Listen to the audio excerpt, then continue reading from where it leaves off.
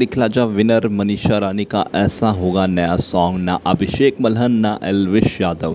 इस हरियाणवी सिंगर के साथ आने जा रहा है मनीषा का नया म्यूज़िक वीडियो तो इस वीडियो को कीजिए मैक्सिमम लाइक और चैनल पे नए हो तो सब्सक्राइब कीजिए देख तमाशा टीवी का। दोस्तों बिग बॉस की क्वीन मनीषा रानी का अब फाइनली एक और नया म्यूज़िक वीडियो आने जा रहा है, जो कि एलविश और अभिषेक के साथ नहीं है। बहुत सारे लोग जब मनीषा चंडीगढ़ पहुँची थी, तभी से ये कयास लगाने लगे थे कि मनीषा की स्टोरी जैसे आई कि ये म्यूज़िक वीडियो एलविश के साथ हो सकता है कंट्रोवर्सी के बाद। मनीषा फिर से अपने दोस्तों के साथ म्यूज़िक वीडियो करने जा रही हैं क्योंकि इसके पहले भी बुलेरो सॉन्ग जो है वो एलविश के साथ ही आया था। लेकिन इस बार ऊँचा, अमित और साथ ही साथ बादशाह जो कि बॉलीवुड के एक पॉपुलर रैपर हैं, उनके साथ मनीषा का सागा म्यूज़िक वीडियो आने वाला है, जिसको लेकर फ़र्स्ट लुक सामने आ चुका है। मनीषा ने इस चीज़ को अपने फैंस के साथ शेयर किया और बहुत सारी फ़ोटोज़ भी वायरल हो रही है सोशल मीडिया पर। तो ये मनीषा रानी का नया म्यूज़िक वीडियो है जो बिग बॉस से निकलने के बाद जब मनीषा झलक दिखला जाके ट्रॉफ़ी जीती,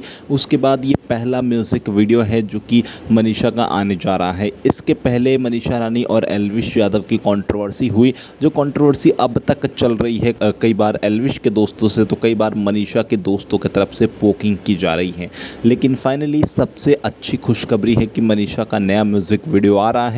और जो लोग ये बातें कर रहे थे कि एलविश के साथ कंट्रोवर्सी करके हाइप बनाने की कोशिश की जा रही थी तो मनीषा की हाइप रियल है, ये बताने की ज़रूरत नहीं है। मनीषा रानी का जो फैंडम है, वो अपने आप में ही एक बड़ा फैंडम है और साथ ही साथ मनीषा ने लोग का दिल जीता है। जब कॉन्ट्रोवर्सी एलविश और मनीषा के बीच हुई, तब भी यहाँ पर हाइप ज़रूर मिली है, ये इसमें कोई गलत बात नहीं है, लेकिन मनीषा ने ये सारा स्टार्डम अपने दम पर कमाया है।